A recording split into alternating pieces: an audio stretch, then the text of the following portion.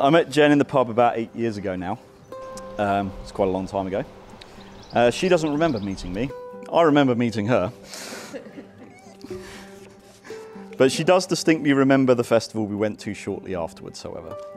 It was a memorable experience, and I'm sure one of the guys will cover a bit more later in one of their speeches. Um, but it's the first time I really got to know Jen, and uh, I wanted to be with her from that moment onwards. Um, so it was an event I didn't make it to, and it was a festival called Sonisphere um, many, many years ago. No doubt Rick was probably halfway through his 14th bottle of Jack. Like, that's what he did at festivals. Anyway, uh, you know, whilst at that festival, there was something blossoming, um, and it was the love literally you see right before you in Rick and Jen's eyes. So, yeah, obviously, Charlene's pointed out that there were several of them that tied Rick to a chair. And that's literally where it all came along. Um, I'm pretty sure at that moment in time, you're sat there going, yep, this is the woman for me. Whilst being restrained to a chair and being fed alcohol. So, there's that. At least I know what to get you for your anniversary now. It's just some duct tape. It's nice and simple.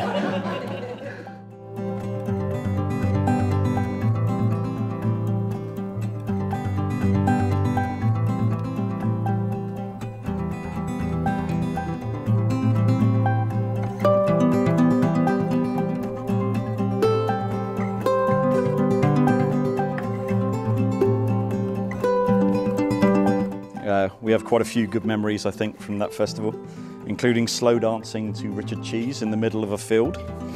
That was good. Um, needless to say, we were both with someone else at the time, so nothing much could happen at that moment. Uh, but we did keep in touch over the next few years, and we met up for a few times. Uh, exchanged some birthday and Christmas gifts until I bought Jen a nice necklace for Christmas. This turned out to be a massive mistake as she stopped talking to me for about six months. Apparently, it was a better gift than the socks her boyfriend at the time had given her, so it caused some friction.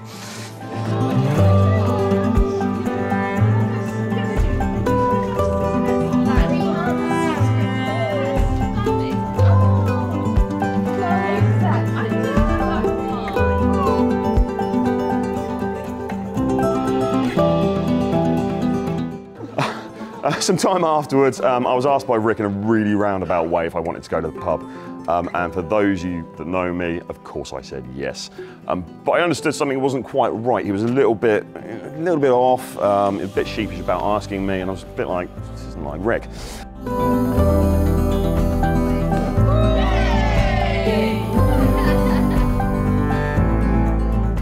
I said yes, that's fine, no worries. So we're in the pub playing pool. Myself and Rick, and we were having a great evening. It's been about an hour, and um, in walks Steph, one of Jen's bridesmaids. So I've known Steph probably as long, if not longer, than I've known Rick.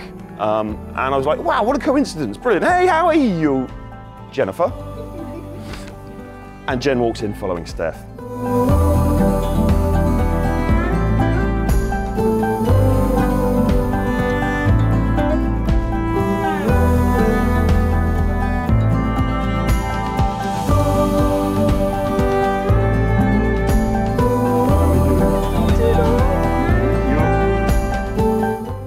It sort of became apparent from that moment um, that there was something special there.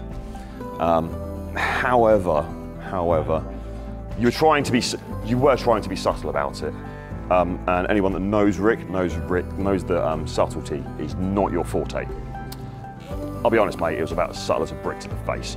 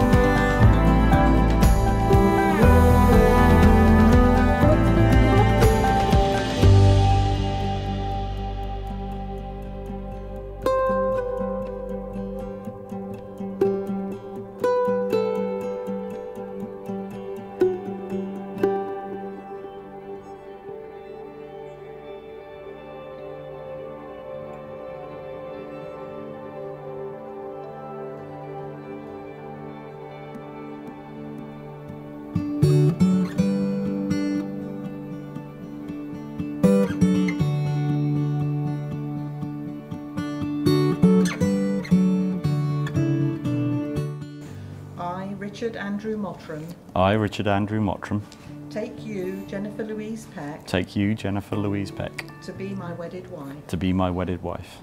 And you've chosen to make an additional vow.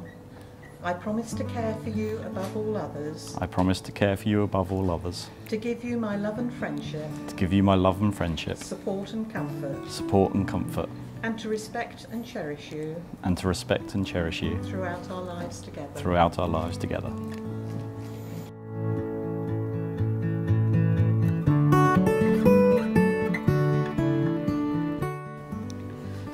Jennifer Louise Peck, I, Jennifer Louise Peck, take you, Richard Andrew Mottram, take you, Richard Andrew Mottram, to be my wedded husband. to be my wedded husband.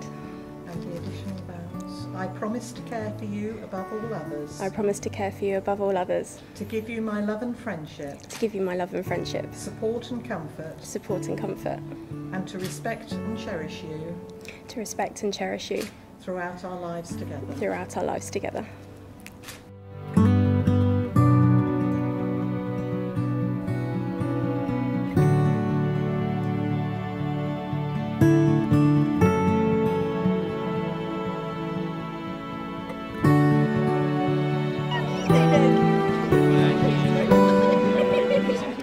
If you can love each other through the sunshine and the storm, and keep the flame of true devotion glowing bright and warm, if you can give each other room to grow and learn, yet still hold each other close in mutual concern, if you can both be lovers and the very best of friends, and face together, hand in hand, the challenges life sends, if you can offer patience, comfort, and real understanding, encourage one another's efforts, yet be undemanding, if you can show true love and faith in everything you do, then married, life will surely hold much joy for both of you.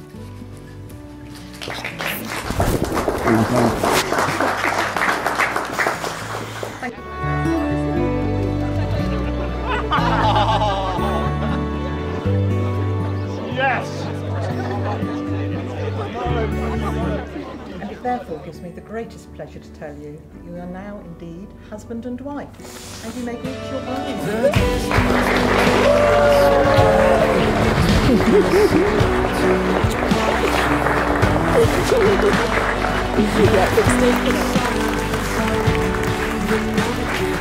The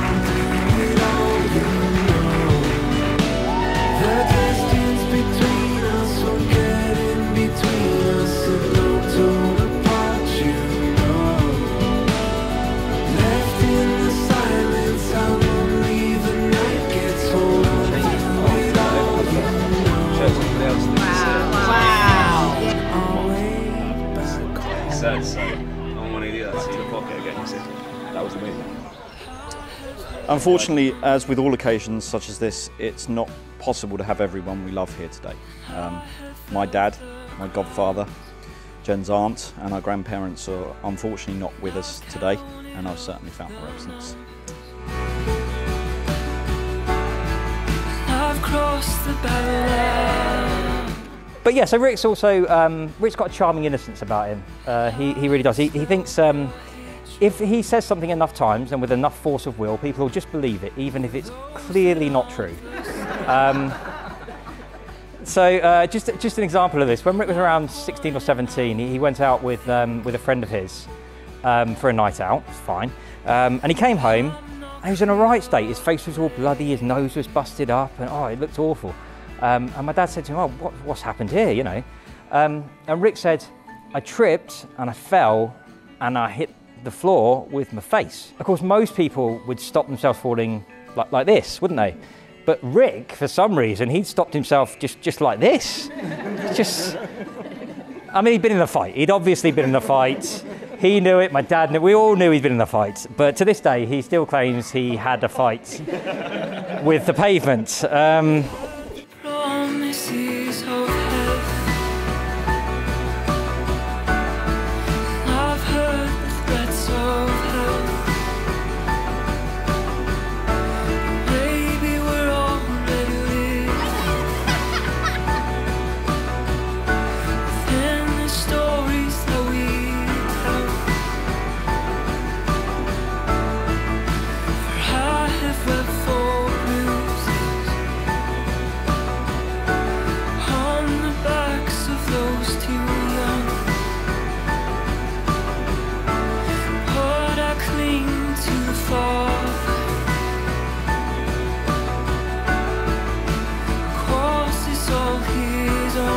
but Rick's other smile is, uh, is one of just pure joy uh, and adoration, and that's the one that he has whenever he thinks about you, Jen. Um, and uh, it's been a pleasure to see him have that more and more over the last uh, eight years with, with knowing you. So um, it's an absolute pleasure to welcome you to the family today. Um, I'd say you don't know what you're getting in for, but you've been around us long enough, you, you do know now. So um, uh, you look beautiful today, and uh, welcome, welcome to now a Mottram. That's poor person. Um, so I'm supposed to give you some marital advice at this point, Rick and Jen, um, but not being married myself yet.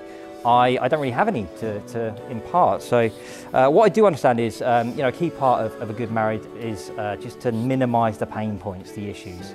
Um, so, what I can say on that is, Rick, just put your stuff in the bloody dishwasher, yeah? Like,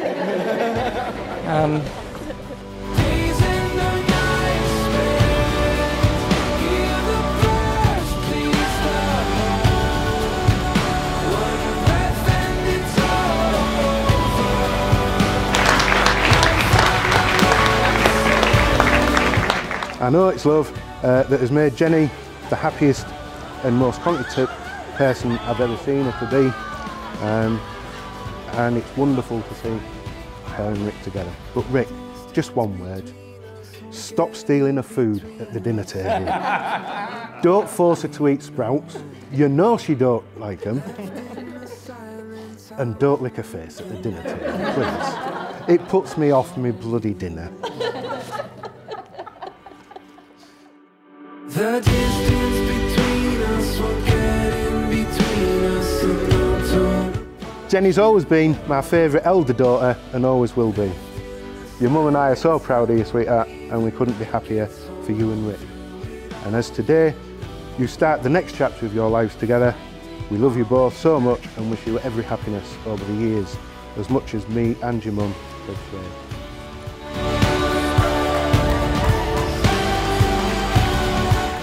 Rick, Jen, they say today is supposed to be the happiest day of your life, but it's not. It's the happiest so far. Okay. Um, there's no doubt going to be many, many more together in your future, and I really do wish you both the best.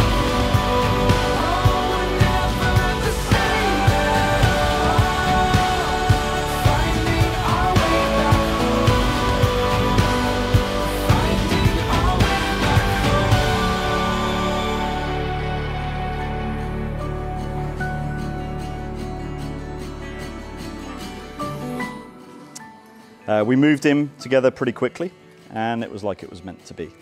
I decided very quickly that I wanted to spend the rest of my life together with this beautiful, generous, quirky girl, and especially her face pulling when she eats an olive. so I secretly bought a ring and hatched a plan.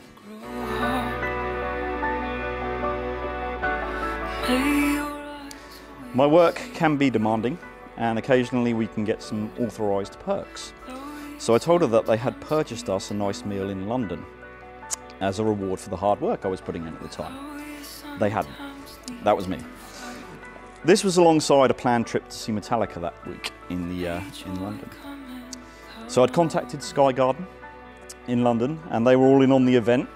So when Jen was asked to pose for a photograph, the waitress was actually recording, and I proposed to the woman I love, and luckily she said yes. It was one of the best weekends of my life.